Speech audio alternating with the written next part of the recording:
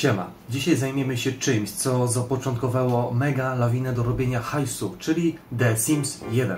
Dzisiaj pierwszą część przyćmiewa najnowsza, no co w zasadzie nie jest dziwne, czwarta odsłona serii, zarówno pod względem dopracowania, jak i dodatkowych funkcji, czy nawet dodatków, a akurat też ich trochę jest.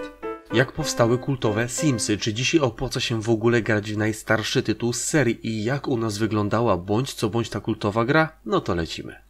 Wyobraźcie sobie sytuację, przedstawiacie swojemu szefowi mega ważny projekt, a oni się z was śmieją. Mówią, że absolutnie nie będzie z tego pieniędzy. I tak właśnie się zaczęły Simsy. Takie mniej więcej usłyszał słowa twórca domu dla lalek, bo taka miała być pierwotna nazwa gry od Electronic Arts. Niewiele brakowało, a pomysł wylądowałby w koszu. Ciekawostką jest to, że Will Wright, no bo chyba tak się czyta jego nazwisko, zaczął pracować nad koncepcją gry zaraz po pożarze własnego domu, jak i całej okolicy. Ja swoją przygodę z Simsami zacząłem no za mało lata, mając coś około tam 10 lat. Wyobraźcie sobie, że wiecie, ktoś mi pożyczył tą płytkę z Simsami, no i tak się zaczęło. Bardzo ważnym aspektem było to, że po prostu Simsy działały na moim bądź co bądź wówczas lichawym pececie. To, że wczytywanie trwało wieki, no to nikomu wtedy nie przeszkadzało, no przynajmniej mi nie przeszkadzało, no bo po odczekaniu swojego nic więcej nie musiało się już dogrywać, więc gra była no powiedzmy w miarę płynna. Moją ulubioną czynnością w Simsach nie jest interakcja z ludźmi, chodzenie do pracy czy topienie ludzi w basenie. No wybaczcie, ale na bank każdy z nas wyciągał drabinkę w basenie. Moim ulubionym aspektem było budowanie, po prostu tworzenie nowych domów, urządzanie i, i oczywiście używanie legalnej komendy klapaucius na dodatkowy hajs. Czy dzisiaj wstydzę się tego, że za mało lata grałem Simsy? Wiecie co? Nie. Teraz Sims 4 jest tak postrzegany, no bo jaką mamy dużą pulę gier. Kiedyś grało się w to, co było. To akurat już kwestia gustu, ale też coś w tym musi być. W tamtych czasach nie liczyło się w co się gra, znaczy się liczyło się. Po prostu co się miało, w to się grało. Taka była zasada, a tym bardziej przy słabych pecetach. Opowiem Wam historię, która wydarzyła się raptem dwa tygodnie temu. Zainstalowałem na swoim blaszaku no, te Simsy, żeby sobie przypomnieć, jak to kiedyś było. Teraz najważniejsze. Siadłem do gry około no 22. Zacząłem standardowo tworzenia rodziny, potem dom i jego rozbudowa. W międzyczasie poznałem panią Ćwir, więc i miałem towarzyszkę życia. Wszystko dobrze się układało. Dzień po dniu leciał, a kariera Simów no pieła się niczym y, stos ubrań na krześle. W pewnym momencie zorientowałem się, że mamy pierwszą godzinę w nocy, a ja zbieram hajs na nowe krzesło do salonu, które da więcej komfortu i poprawi wygląd wewnętrza domu. I właśnie wtedy zadałem sobie bardzo ważne pytanie, co ja robię ze swoim życiem i wiecie co? Poszedłem w kimę. Moja wiedza na temat Simsów nie jest jakoś szczególnie rozbudowana, ale znam osobę, która nie tylko w jedynce spędziła mega dużo godzin i może Wam trochę powspominać, co ona myślała wtedy, co myśli teraz. Cześć! Moje wspomnienia odnośnie gry The Sims są dosyć mgliste.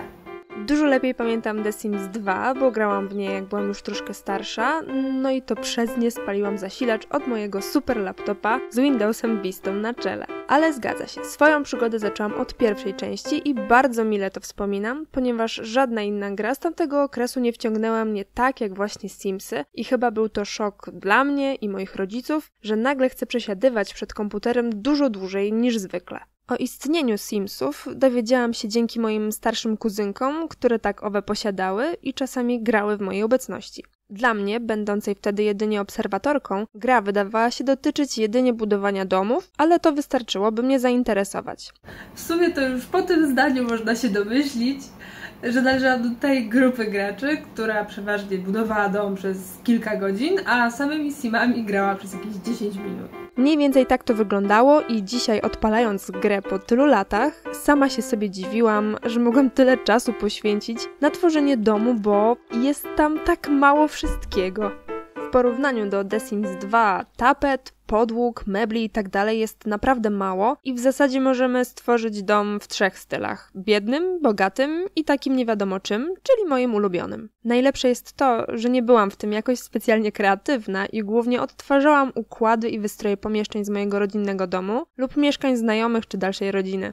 Rodziny też tak odtwarzałam, więc w kółko robiłam swoich rodziców i siebie, tylko czasami zaczynałam pokolenie wstecz od dziadków, a potem próbowałam doprowadzić do poczęcia samej siebie, co skutkowało nieraz nieplanowanymi starszymi braćmi. Gdy zbudowałam w końcu swój pierwszy dom i wprowadziłam moją rodzinę do niego, to od razu doszło do tragedii, ponieważ przez przypadek, na dzień dobry, spaliłam własną matkę.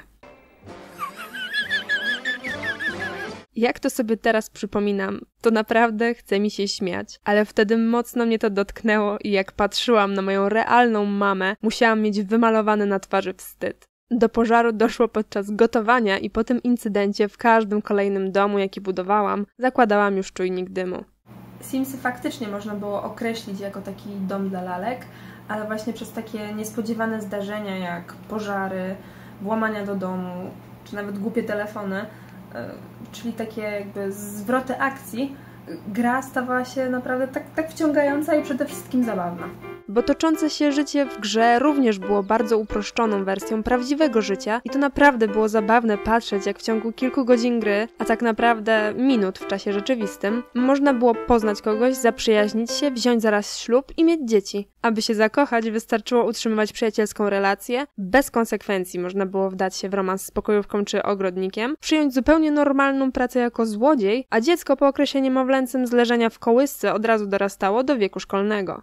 Absurd gonił absurd. Postaci były stereotypowe, bo chociażby pokojówka miała tradycyjny biały fartuszek, złodziej miał opaskę na oczach i strój w czarno-białe paski, a najsłynniejsza rodzina Ćwir to była typowa bogata rodzina ze starej posiadłości. Innymi słowy, Simsy pozwalały na dobrą zabawę w dorosłych bez ponoszenia konsekwencji, za pomocą bardzo ograniczonych i prostych możliwości i myślę, że właśnie w tym tkwił cały ich urok. Gdy odpaliłam The Sims 4, które mają bardzo rozbudowany system tworzenia relacji, nie wspominając już o całej zawartości, czyli meblach i możliwościach budowy, to stwierdziłam, że szybciej mnie one nudzą, bo coraz bardziej stają się symulatorem życia, a nie prostym domem dla lalek. A pamiętacie pierwsze dodatki do Simsów? Ja pamiętam dwa najpopularniejsze, czyli Światowe Życie i Balangę, z czego z zawartości pamiętam tylko, że można było kupić ogromny tort, z którego wyskakiwała tancerka i oczywiście z tą tancerką też można było stworzyć związek. Pamiętam też, że rodzice kupili mi pakiet trzech dodatków w jednym i były to randka, wakacje i abracadabra. Co najlepsze, w abracadabra nigdy nie zagrałam. Nie wiem dlaczego, być może wtedy już wyszło The Sims 2 albo przechodziłam tymczasowy detoks od grania. Randkę pamiętam, że polegała na zabieraniu simów do restauracji i tam można było trochę więcej poflirtować, a z wakacji pamiętam tylko zimową lokalizację, gdzie można było jeździć na snowboardzie. Jak tak sobie to wszystko przypominam, to w zasadzie mogłabym pojechać do moich rodziców i wygrzebać gdzieś skądś te dodatki i może nagralibyśmy z tego jakiś fajny materiał w przyszłości, kto wie. Teraz już wiecie, jak dzisiaj gra się w Simsy 1. Zdziwiłoby mnie, jakbyście nie wiedzieli, jak się w to gra. Główny schemat zawsze jest taki sam, czyli tworzymy postacie, w tym przypadku wybieramy je spośród gotowych modeli. Potem możemy wybrać wprowadzenie rodziny do gotowego domu lub stworzenie własnego, a co się dzieje dalej, no to już tylko zależy od nas samych, no i od naszej kreatywności. Tutaj nie ma tak zwanej marchewki na końcu kija, która nam pogratuluje, że stary, ukończyłeś grę, możesz do nas wracać kiedy tylko chcesz. Serio? Naprawdę nie wiedziałem, dzięki. Tutaj to gracz tworzy historię w swojej głowie i przelewa ją na grę. Nie zawsze są to dobre pomysły, bo znam ludzi, którzy robili cmentarzysko dla samego fanu, no ale rozumiecie przekaz. Jednych będzie kręciło powolne rozbudowanie swojego domku, małymi kroczkami dążąc do celu, natomiast inni za ten czas będą woleli, nie wiem, eksperymentować, wymyślać jakieś chore wizje alternatywnego świata. Wasza wola.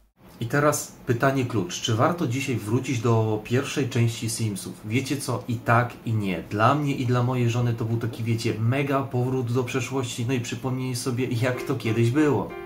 Co do grafiki, to widać, że lata świetności no dawno już minęły. Najnowsza odsłona jest bardziej taka, wiecie, no cukierkowa i mimo tego, że też już swoje lata ma, prezentuje się w porządku. Natomiast tutaj jest mocno tak sobie. Przede wszystkim brak możliwości ustawienia rozdzielczości, a przynajmniej ja jakimś cudem na tą opcję nie trafiłem. Jest tylko ustawienie jakości wyświetlanego obrazu i tyle. W gruncie rzeczy schemat Simsów diametralnie nie uległ zmianie. Wiadomo, jeśli chodzi nawet o sam wystrój domu, to jest dosyć ubogo. Podobnie też jest z interakcją między Simami. Jakimś tam pokrętnym plusem gry jest fakt, że jest ona już darmowa, więc nic nie stoi na przeszkodzie, by spróbować i wsiąść do wehikułu czasu w celu przypomnienia sobie lat młodości. PS, taki protrip, gra nie chciała mi się zapisywać, więc wystarczyło ustawić zgodność na Windows 98 łamane przez Millennium, co naprawiło ten problem. Oprócz tego gra nie lubi minimalizowania, bo się po prostu sypie. A czy wy graliście? I teraz pytanie do was, jakimi to wy byliście graczami? Czy tymi normalnymi, czy tymi z obozu walniętych, szalonych pomysłów, czy czegokolwiek, żeby zrobić, mm, nie wiem, coś dziwnego? Komentarze należą do was. Natomiast na dzisiaj to wszystko. Dzięki za poświęcony czas. Trzymajcie się do następnego i cześć. Cześć!